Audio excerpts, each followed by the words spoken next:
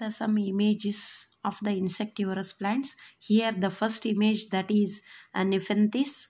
So it is one of the very important uh, insectivorous plant and uh, second image. So this image is Drosera. So third image.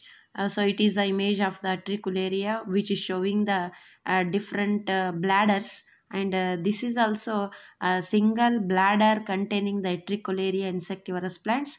So here you are observing in case of the Nepenthes, so this is the lid, so rim part, so this is the petiole. So actually this plant, actually there are some adaptations for these plants in order to catch the uh, insects. So that's why these are called the insectivorous plants. So these depend on, actually these traps the insects.